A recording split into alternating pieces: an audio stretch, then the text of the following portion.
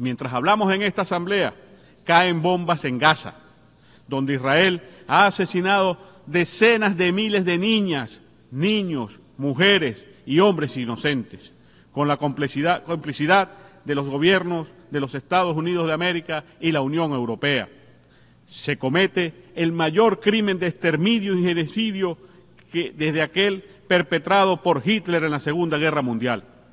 Hoy pretenden exportar su odio y destrucción a toda una región, bombardeando y asesinando inocentes en el Líbano, en Siria y tratando de desestabilizar la República Islámica de Irán.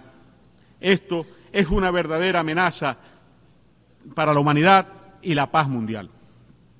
Una nueva forma de terrorismo se ha aplicado sobre el Líbano, con la complicidad de las empresas privadas que manejan las cadenas de suministro de las tecnologías de consumo masivo.